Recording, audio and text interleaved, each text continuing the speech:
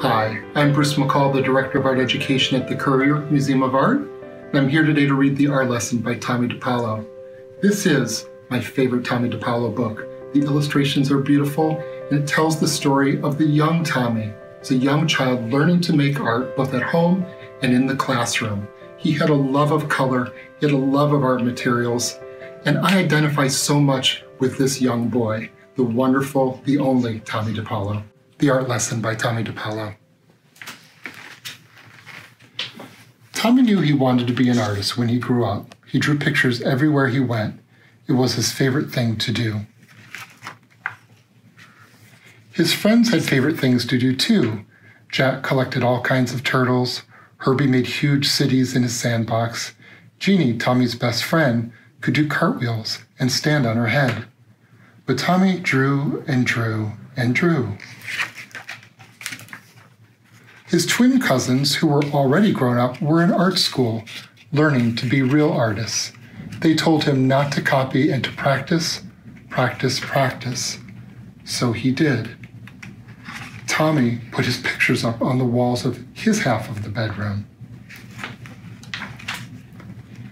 His mom put them up all around the house. His dad took them to the barber shop where he worked.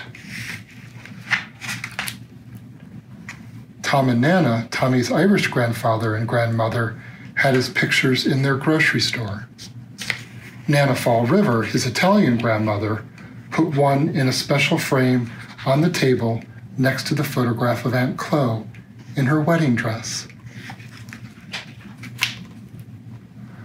Once, Tommy took a flashlight and a pencil under the covers and drew pictures on his sheets.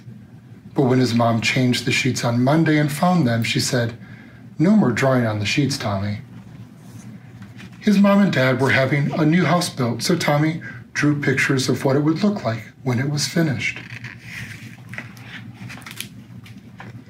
When the walls were up, one of the carpenters gave Tommy a piece of bright blue chalk. Tommy took the chalk and drew beautiful pictures all over the unfinished walls. But when the painters came, his dad said, That's it, Tommy. No more drawing on the walls. Tommy couldn't wait to go to kindergarten. His brother Joe told him there was a real art teacher who came to the school to give art lessons.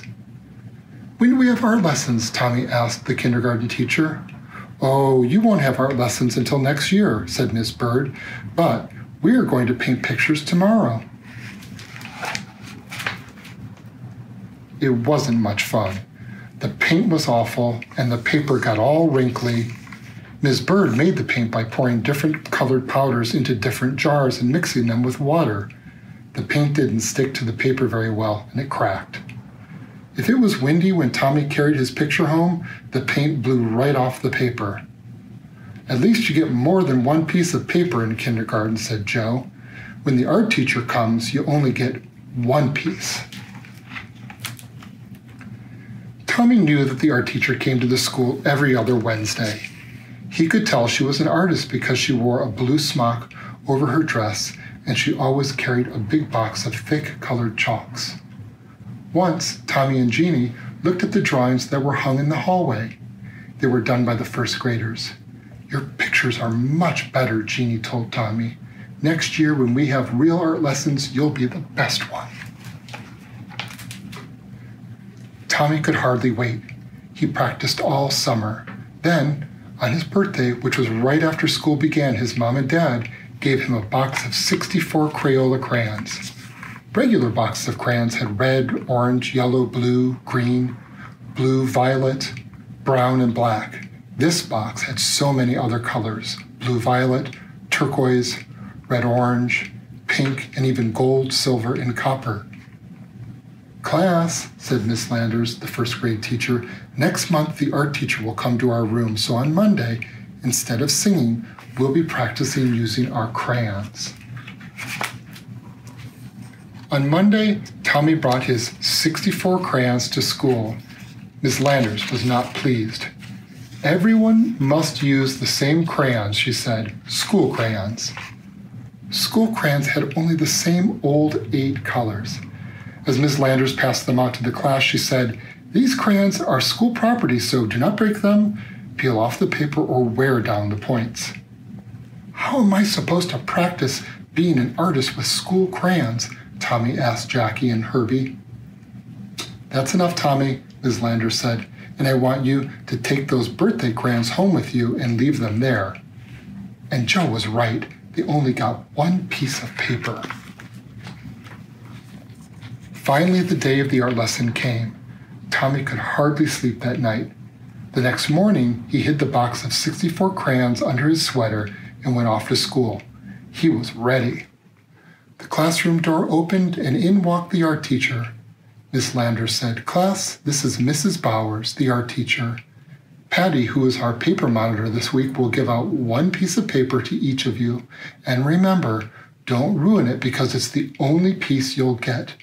Now pay attention to Mrs. Bowers.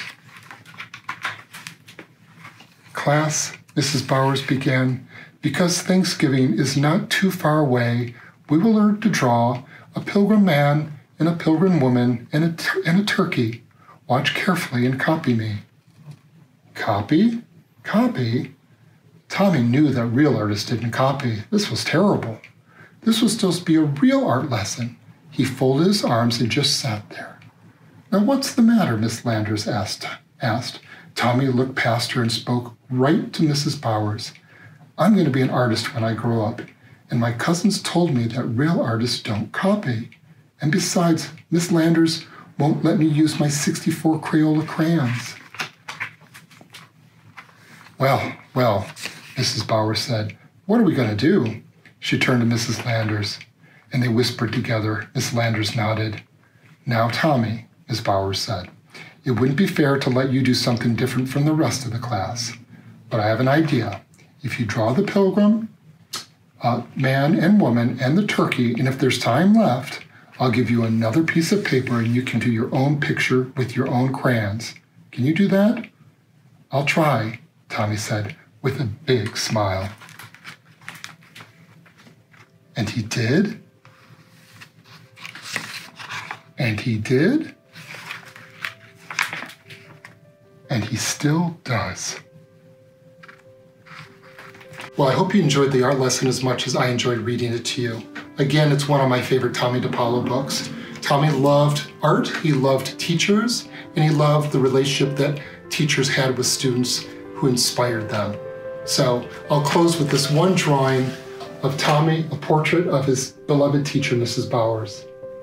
Thank you so much for sharing this time with me, and we hope to have you back to the Currier soon. Thank you.